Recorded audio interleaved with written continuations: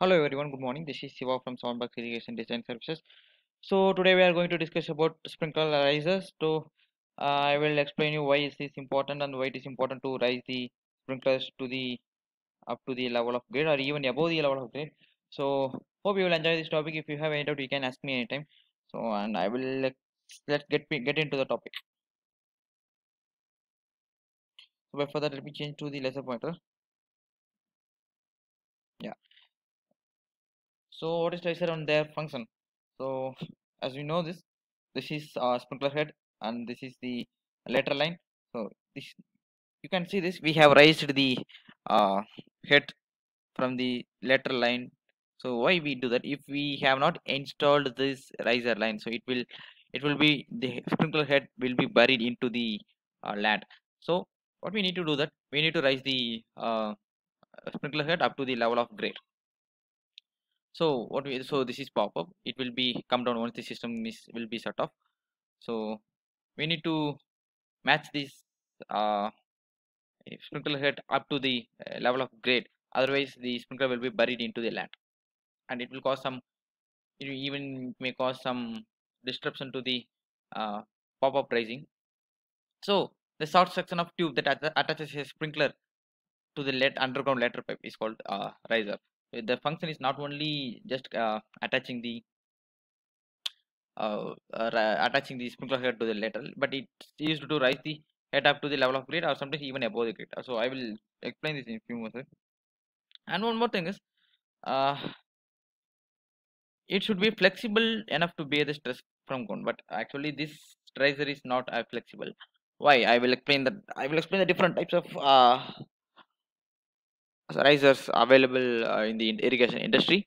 So the purpose of uh, riser should be the it should be it should raise the sprinkler head at, at, at the same time it should be flexible enough to bear the stress from the ground.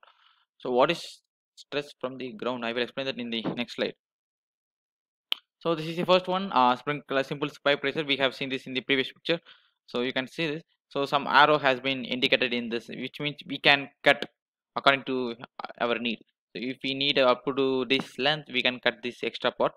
So if we need full length we can use the full length full we can use the full linear length. Otherwise we can cut according to our requirement.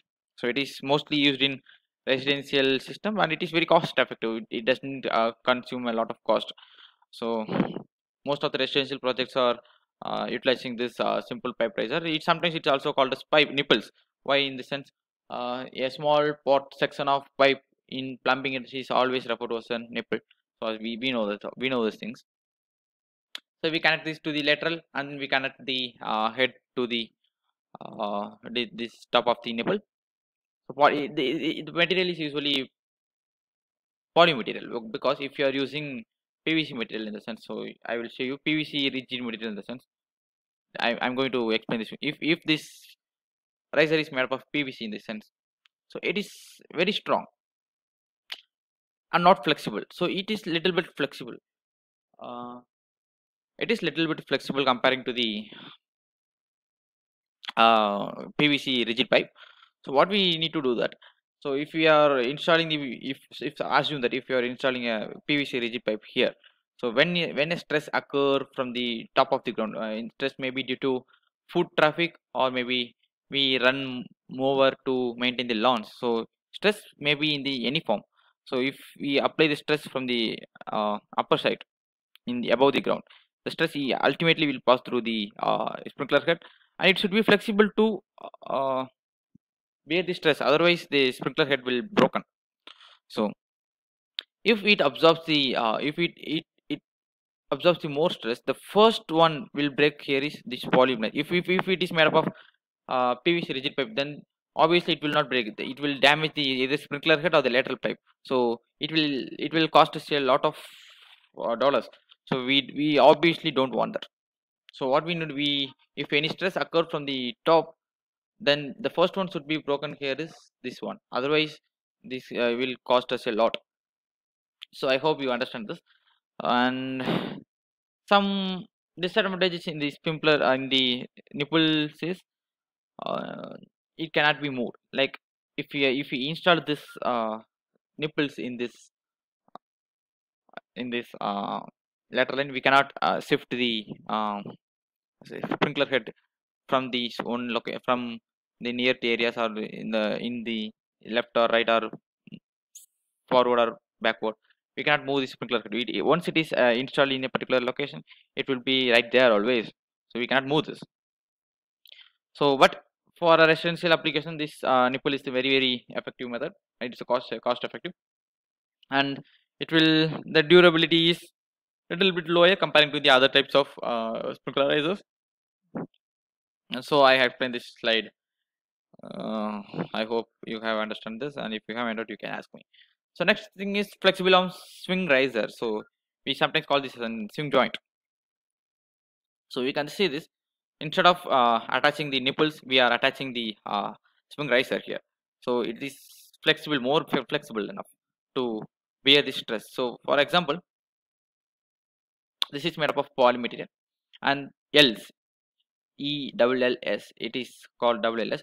So you can uh, swing this according to our convenience. You can uh, move to this direction laterally or upward and downward or uh, forward and backward so this is the uh, effect of uh, useful of um, it will bear a lot of uh, stress from the outside for example if if a lorry driving along the driven along the uh, this side if the the weight of the lorry is very high right? So once the lorry has rolled on these uh, sprinkler head it will automatically come down because this is flexible and to uh, pull this down. And once the once the lorry has paused it will come up again because this will it will release the stress so this is how the uh, this is the useful of uh, flexible arm swing riser. So it, it, it can be used in uh, residential to light commercial project. So and we should not use this flexible hose in the uh, 3 by 4 inch inlet like our rotors always have 3 uh, 3 by 4 inch inlet. So it should be used uh, with sprays which has off inch inlet. So we know this this is flexible hose with an L L's on both sides so as I said this don't use these flexible arm risers with sprinklers that have a 3 by 4 inch inlet so usually rotors have the 3 by 4 inch inlet so uh, this is a clear picture of, uh, of flexible arm riser and this is rigid arm. The main difference between the flexible uh, flexible and rigid arm is this is made up of uh, schedule 80 PVC okay? So it should be uh, installed with the rotors which has 3 by 4 inch inlet because it has to bear a lot of pressure. We know uh, rotor is usually operates at the 50 psi so we we this uh, uh, nipple should be should be uh, able to bear up to 50 psi so that uh, we need to use a schedule 80 pvc nipple. Uh, we, we, we may not be we, flexible pipe is not flexible not suitable here because flexible pipe may not be able to with withhold the pressure of 50 psi and one more, one more thing is the quadruple swing riser. Quadruple swing in the means we have uh, four L's here. Quad, quad means four right? Uh, the quadruple swing riser allows the sprinkler head to move in any direction. So we can move laterally or longitudinally any in any direction we can move this. Uh, this is one of the advantage of the uh, uh, arms swing riser or swing joint. You can move that side or you can move this side or you can move this side or you can move this side according to our content so it is not fixed in a single place so that's the advantage of swing riser it, it, this advantage is both with the flexible and the uh, rigid arm swing riser so as i said it can be adjusted up angle in down any direction it can swing from side to side so this is the um, zooming picture of L. So uh, actually 4L is needed to make quadruple swing riser. Okay. So next slide. This is one more thing is flexible riser. This is also one of the type of uh, risers which will be useful for uh, attaching the sprinkler uh, in in different locations. So it is very durable and very cost effective. We cannot use this in rotors. We, we only can use this in half inch inlet spray heads okay it cannot withstand high high pressure as i said earlier it can it can it can only withstand the low pressures only it can withstand the pressure of rotors so it is very limited one we only we can able to use only in uh, spray heads of which which has half inch inlet and one more thing is slab riser. So this is the final thing.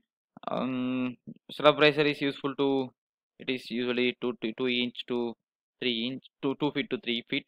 We should install this above the ground because uh, some kind of plants like shrubs has which has an height of 2 to 5 feet. If we are installing the uh, if we install the sprinkler heads in the ground. So obviously the uh, the throw will be affected by the uh,